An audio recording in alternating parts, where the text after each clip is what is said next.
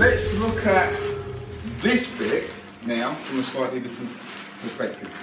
So what we've got to remember is that we're here. So we've got this movement here, we go in here, knee, coming from here, here, or we come up further out, one, kick, and we have drop, and we have drag. Okay? So the movement is this, this, this, this here. Yeah? That's the drag. Right Here.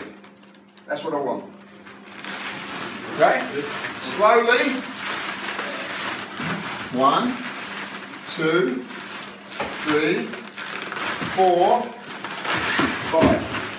And he's managing to miss the kettlebells every time. so we've got one, take it offline. Remember, it's not this, not this. Has to be going out. You go from here, whoa, here, boom, travel. Triceps muscle, belly of the muscle. As they bend over, kick up into the ribs. All knee. Okay? Kick up into the ribs. Drop down, triceps muscle. Then as I scoot back, I have my press across the back of the arm. I don't need to do the punches now. Okay? Cat hasn't turned around. Okay? That's where we're going. Yes? Okay. And we have to look at the mechanical reaction to impacts to understand how the techniques are going to work. Yeah? I've got to know if I hit something where the head's going to go. If it's the head, I, if I hit the head, I need, then need to know where the body's going to go, uh, what the legs are going to do. I need to have a fairly good idea before I even get into the drill of what is physically going to happen. This is why we can be fast with our techniques. If you know where somebody's going to be, you're going to get there faster because you're already on your way, even before they are. Okay? Here we've gone both, people are moving back to try and kick to the leg here. The reason it doesn't work, if I kick that leg, I don't get the same mechanical reaction. What I want to do from here is pop, and here they bend over. I've got this, I've got this, uh, you turn around, we could say, for example, I've got this and that, I want to move in. So that's fine. I want to throw the kick. I'm not against, I, I like kicks, I practice kicks, I, I highly recommend everyone practices their, their kicks for varying heights. In a self-defense situation, however, I'm less inclined to think in terms of kicks because it lengthens the amount of time that I'm trying to balance on one foot that could be problematic in a self-defense situation. Whereas the knee is literally just a step in. Okay? It takes no longer to deliver. So if I'm going to come to here and I want to hit range is right, fine. Okay? I from here, I'm going to bang, boom, here. This is a strong strike. This compromises the shoulder. I hit into the triceps muscle, belly the triceps muscle, pushes the punches the shoulder forwards. Then when I drag back, forearm, down into the triple liver point.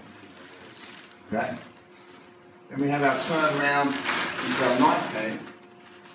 Take them all the way down if we need it. Okay? Right, we've got to think of this is, uh, you know, when somebody punches outside of the karate world, people don't punch to that. Okay? They'll punch and they'll bring the arm back. So when he punches from the bottom, oh, this is why we have to go in if I'm going that way, yeah, he can't take his arm back. And when he, what he does is he forces himself into me. There we go. Oh, no, it's not done. Here, here, here. Oh, hmm. here, this is where I want to be. Okay? So we're seeing a technique that does this. In, sorry about that little um, giggle there. Out to the eyes. Okay. Push. Out to the Boom! Here. Yeah? Right to the eyes. Or if you're going to get same technique. Okay? Bring up down. Slam. Boom. So I've got that pop, pop, pop, pop, drag. It starts to lift the head. You get two punches coming in. Okay, so you're going to get two punches in now. So we have that one, two, three, four, five, six, seven, that's the movement. Okay? Yeah. So we've got this idea, comes in from here, the hook, into the hip, into the kick, if you need to make any adjustment to, so on knee, as I say, from here. We've got that heavy drop down into the belly of the muscle. We've got that drag here. That's the throwaway. Now, the reason you throw the punches is because it hasn't worked. So as he starts to come up the arm bends, I'm going to go boom, boom, boom. I've got one, two, three coming in here. Okay? So the kata shows two punches. But if I'm here, then actually I'm better off hitting with this one first. Because it's nearest. Okay?